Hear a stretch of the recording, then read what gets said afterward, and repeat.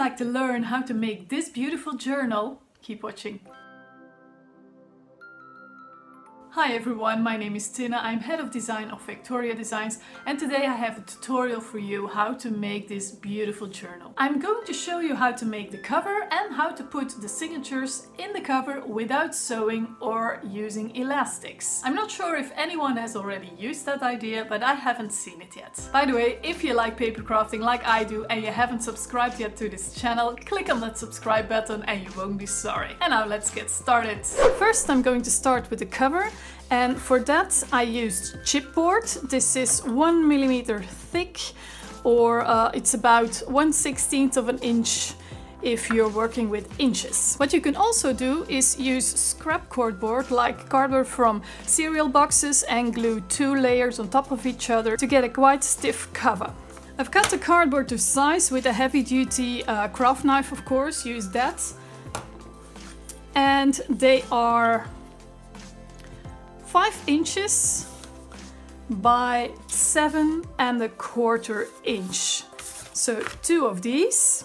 And in centimeters, these are 12 and a half approximately by 18 and a half. This piece I cut for the spine, it's got the same height, but the width is one inch or two and a half centimeters because that's what I chose. You can of course make it wider if you like. And the first thing I'm going to do is to make these pretty. I'm just going to use one of our papers from our shop. I printed it on regular copy paper so that's 80 grams like the normal stuff you put in your printer when you want to print something because I'm going to fold and then I want it to be smooth and not thick. Obviously this is too large but I want the writing part in the middle so I'm going to glue it down here. You know I like to use my double-sided tape just to get the edges really really nice.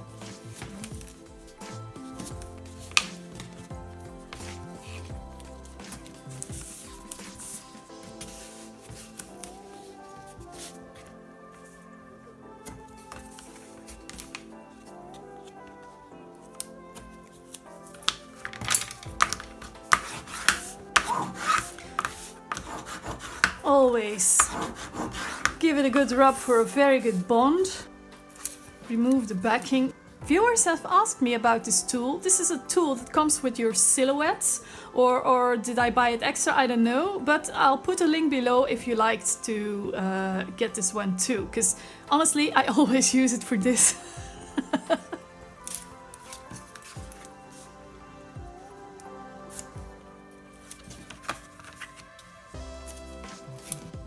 And the middle I'm going to add some regular glue. You can use any type of glue, but I like this one because it doesn't wrinkle as much as other water-based glues.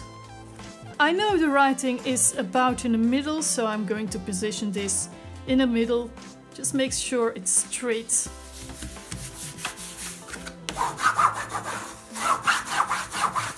This is of course optional, now I'm going to cut about well, big half inch, a centimeter and a half around.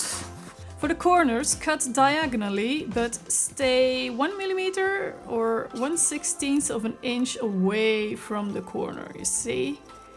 So we don't expose the corner, but also don't leave too much or it will be a bit harder. I'm going to pre-fold these edges against the cardboard with my thumbs so that I have a very flush finish later on. I'm going to apply more of this double-sided tape. It's not necessary, you can do anything with glue, but it's just the way I like it. I like clean finishes. Just from corner to corner of each tab, if you want to call it that.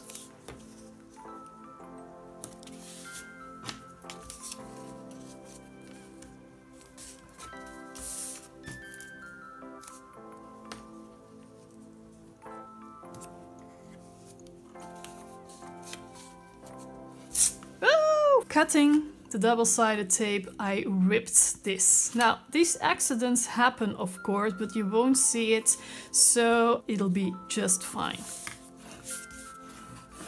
Let's rub these carefully.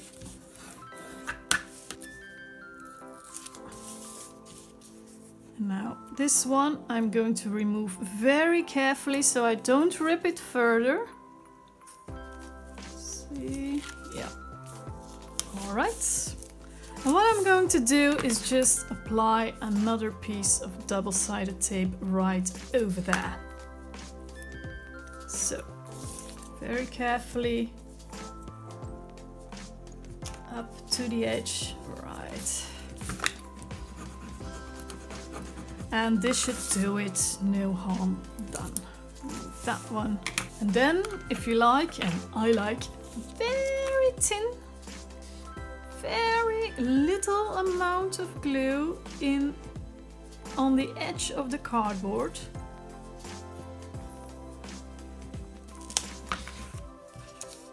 Fold over and just rub against the sides of the cardboard too for a nice flush finish. There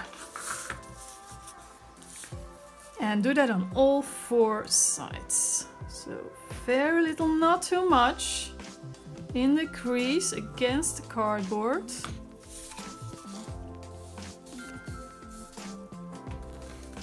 Like this.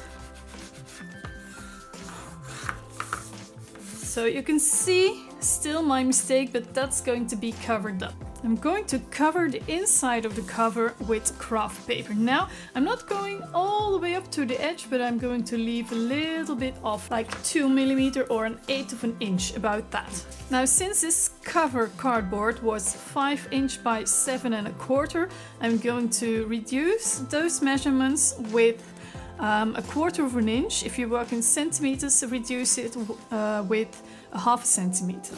So I'm going to need a piece that's 475, like this. See, fits perfectly.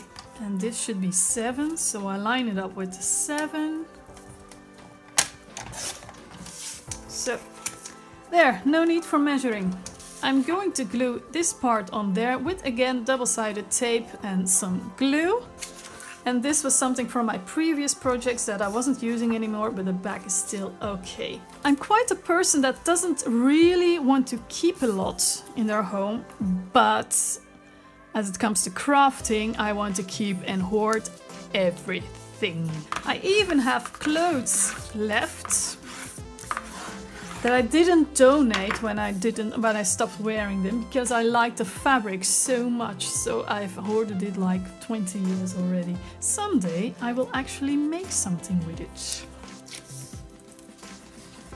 Just go quickly with your bottle so you thinly spread it out. That's how I like to do it. Yeah.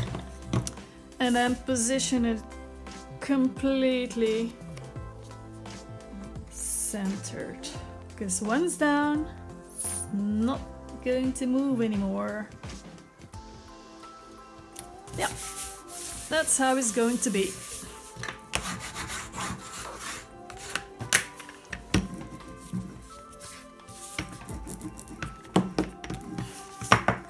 And there's your cover number one. Pretty, sturdy and finished very beautifully. And for the back cover, I'm going to do exactly the same. So I finished my front and back cover. To cover the spine, I'm going to use simple packing tape. It's sturdy paper packing tape. It's wide enough to cover the spine and attach it to both cover pieces. This tape is um, almost two inches wide. That's like five centimeters. I'm going to cut a piece of tape that's a bit more than twice the height of the journal. To cut tape, I like to use my bad scissors. One, two. Now the good thing is it's sturdy, but I can reposition it when, if necessary. And I'm going to position these and I'm going to leave a millimeter out. Now just a tip, if you're afraid things might move around when you apply the tape, just position them and hold them in place with some sticky tapes. Normally I would use uh, one larger one, but I'm out of those. So I'm going to use a few smaller ones. See, I'm going to do the same on the other side. And this is just temporarily, of course.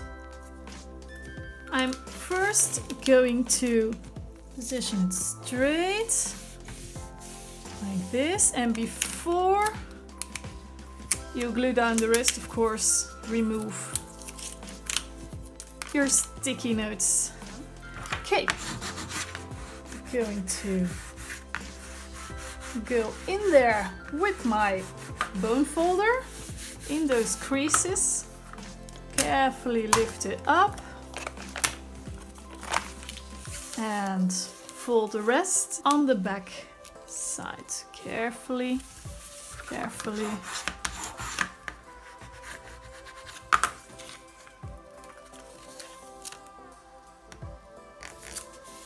Like this.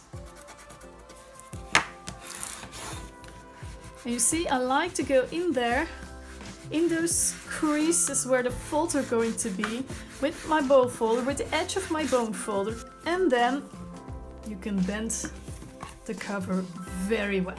And this is essentially the base of the cover. I'm going to decorate it even further. I got these really nice corner protectors and they fit on here really beautifully. So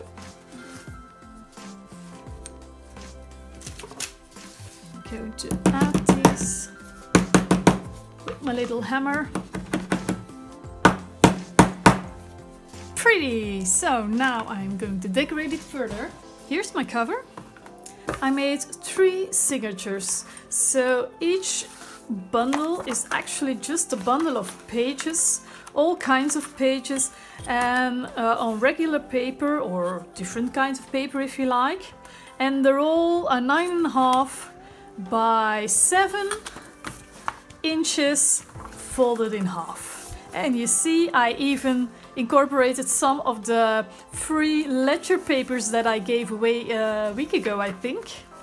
See, there's all sorts of papers. Some are from our shop, uh, ledger papers, but there are also uh, blank papers in a color, etc, etc. And I think each has seven papers fold in half. The way I'm going to put these papers in this cover I haven't seen being done yet. It could be someone has already done this but I haven't seen it before. I'm not going to sew it, I'm not going to use elastic, I'm going to use another piece of cardstock. The piece of cardstock that I'm going to use has the same height as the covers, so that's also 7 and 25, yeah, 7 and a quarter. But it's not an inch wide, it's actually an eighth of an inch less wide than the cover. So if I fold it close, that the, the cover can still close. If I would have made an inch wide piece, the cover won't properly close, so that's why. Of course, this isn't very pretty. I'm going to cover it and I'm going to cover it very easy with my packing tape that I used earlier. So.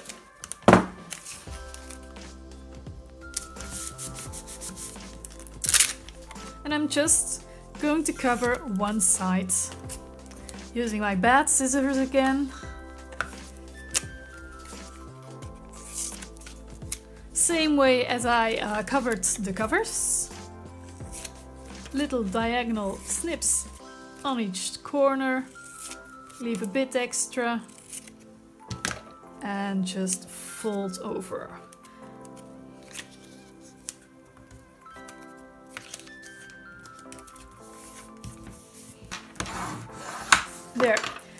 Easy peasy. It doesn't matter if this side has uh, isn't covered completely because we're not going to see that anyway. The next thing I'm going to do is measure.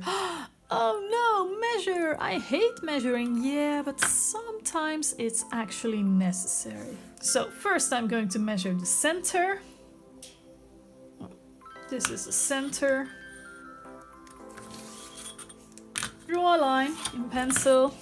And then I'm going to draw two other lines that are 3 16ths of an inch from each side just to have them a bit lined up properly instead of winging it. I love winging it, but up to a point.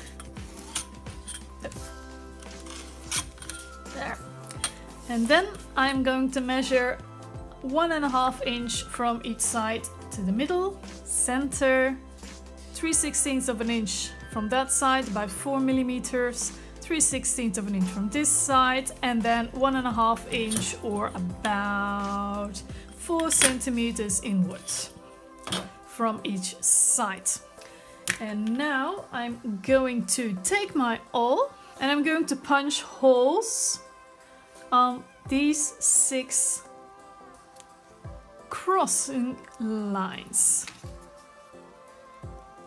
So a little holes enough, you don't have to poke your hole all through. And then I am going to take staples.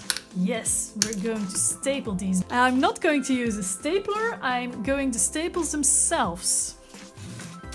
Um, yeah, the tool comes in handy again to separate few staples. Some staples are a bit wider than others, so I'm just going to use a staple itself to measure my other holes. See? And I'm going that way. You can go, can go that way, but I think it's going to be a bit sturdier if I go that way. So I'm just going to mark a little hole. Actually, it's nothing more than a scratch where the other hole for the staples should go. This and I'm going, going through again. Not too deep, a little small holes enough for these staples. Okay.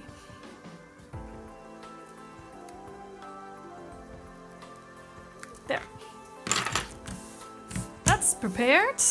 And now actually, because those lines are not very pretty, I'm going to erase them. So and that's why I should do this with a pencil instead of pen. Most of my markings have gone and now I'm going to open this signature and I'm going to punch the holes in the right spot. And to do that, I'm not going to measure again. I've done measuring for today. Oh yeah. And I'm going to place this next to the fold here, about in the middle. So, so there's equal extra um, cardboard on each side. And then in the fold, I'm going to punch the holes accordingly, just a bit. And when I'm certain, I'm gonna poke through like this.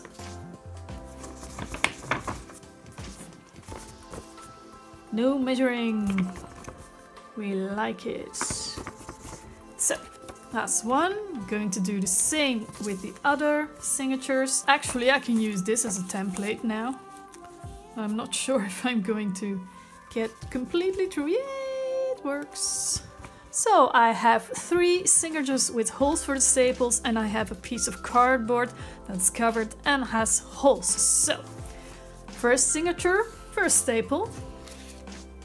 I'm going to put the staples through from the center to the outside. And I'm going to do the second one also. Staples through, turn around and poke them through the first row of holes.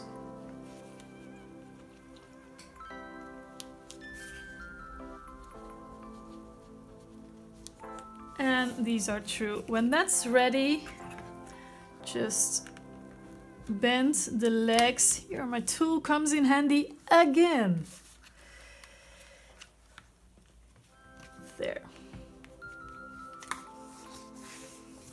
And bend your pages a bit because they're not used to being bent this way.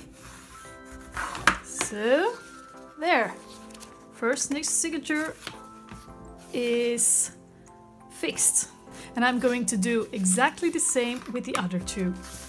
I attached all three signatures to this piece of cardboard and now it's just a matter of gluing this piece in there but I suggest to use the strongest glue that you have because this is fairly heavy and if you're not being careful it might come loose and we don't want that of course. I'm also going to add a layer of double-sided tape on here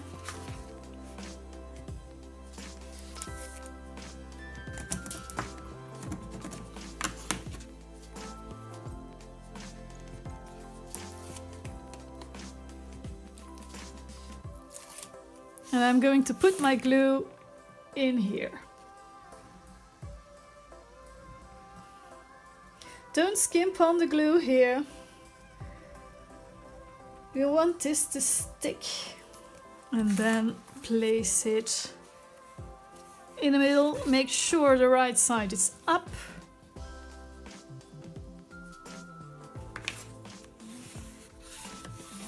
Let it dry thoroughly, of course, before using it, but this way you have a very nice, sturdy, made from scratch journal or junk journal or um, album or book. You can use your own pages, of course, with three signatures inside. And of course, you can embellish it further